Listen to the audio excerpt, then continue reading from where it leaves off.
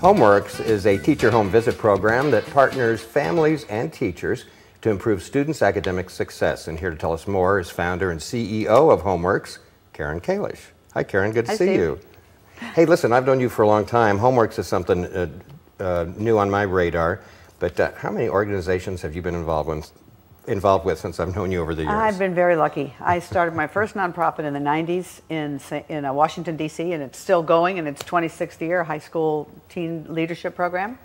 And then I started Books and Badges, and we've talked about that, which puts police recruits in the schools on a weekly basis right here, St. Louis Metropolitan Police Department, so they can work with the kids. And then I started Cultural Leadership, which is another teen leadership program for high school students. And now we're here. Well, I am a serial social entrepreneur. serial meaning like a lot of them. Right. And entrepreneur starts things, and social is for the community. I'm so lucky I get to do well, how this. did that all start for you? Why is that important to you to make a, a difference in that way? I don't know. I, I don't know. I got that gene. I have no idea. But this one, well, they're all important, but this one is so important for our community. From the day the child, a student, child is born to becoming part of the workforce. And we don't have the workforce we need for our future.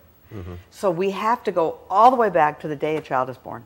And there are so many kids in this community and the much wider community who come to school on their first day of school and they don't know their shapes, their colors, their letters, or how to write their name. And that means they're a year or two behind already in kindergarten. Don't they have nursery school So- anymore like when I was young or No, not? and there's lots of families who the moms, dads, grandmothers are working. They have two and three jobs. They're trying to keep the lights on and food on the table. Some moms, dads, grandmothers didn't do so well in school and don't quite know what to be doing. No one read to them. And so there's a lot of reasons. But the bottom line is there's all these kids who come to school behind. And when they come to school behind, it's over.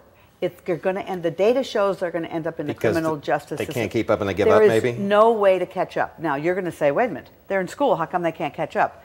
This will surprise you, but they're only in school. If you look at the whole year, every minute of every day of a year is 100%. They're only in their school buildings 14% of their year. So they're not in Saturday, they're not in Sunday, they're not in all summer. And of a day, they're in school seven hours, they sleep eight, and they're still nine, where they're not doing anything educational or academic or enriching because moms, dads, grandmothers are trying to work and But, keep but you don't think that's wrong, do you? You, you it's wouldn't not about right for and kids. wrong. It's an is. And so they are not, they come behind and they can't catch up in only 14%. Mm-hmm. That's not even academic. That's walk in the door and walk out. Mm-hmm. So here's the answer an answer. Home works. Getting moms, dads, grandmothers engaged in their children's education. Good. And this is where the teacher home visit comes in. To have a partnership. This is not about fixing anybody.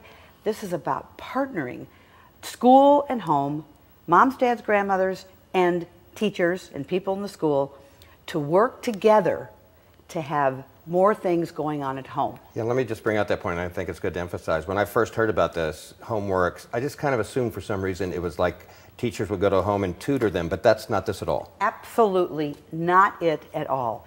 This is about building a relationship, building trust between moms, dads, grandmothers, and teachers at school so they can then partner and work together. Moms, dads, grandmothers learn where the kid is, about absences and tardies. Many children are absent way more than they need to be, and they have to be at school all day, every day mm-hmm. to be able to take advantage of everything. Mm-hmm. So missing school is really hard.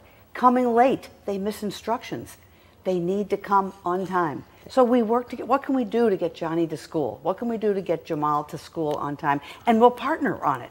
No blame, no shame, no judgments, always working together. What, what I think is interesting is involving the parents, because you know you involve the kids when they go to school, but making the parents feel included is sort of a new thing. It's absolutely crucial. You know what, Steve? It's not new.